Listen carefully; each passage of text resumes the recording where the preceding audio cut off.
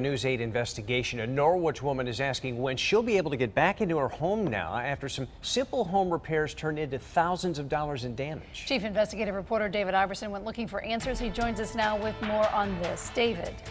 And the contractor has a license now, but when the deal was signed, he tried to use an expired woman. One, now a woman says the contractor who took the money won't take her call. Our day begins with waiting. Hey, Mike, it's uh, David Iverson over at Channel 8. Uh, we were supposed to have a sit down interview with home improvement contractor Mike Mish, but we were left stood up. Elizabeth Hall says Mish has done the same to her. He won't take her calls either. I'm out of a home because of him. Hall hired Mish in June to fix a roof. She thought it would be a small thing, but then the rain came. The family and contractor squabble about why and where it got in, but somehow, while the job was ongoing, water poured into Hall's house. And it led from a small thing to a bigger thing. Just about every room had to be gutted. It even started a small electrical fire. And this one was sparking fire. Once that happened, contact with Mish started to fade away. He said, I'll see you tomorrow. Tomorrow turned to weeks, and now months later.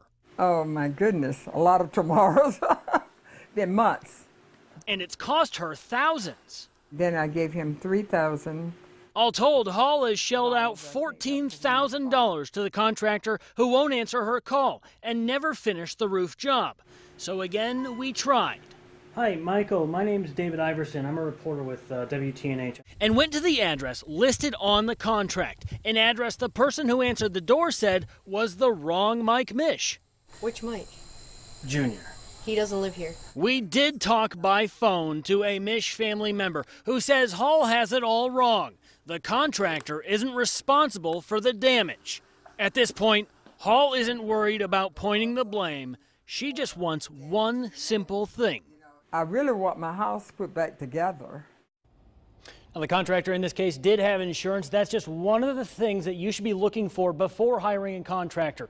On our website, we have eight things you need to know before hiring a home improvement contractor, questions to ask before you hand over your hard earned cash. For the News 8 investigators, David Iverson, News 8.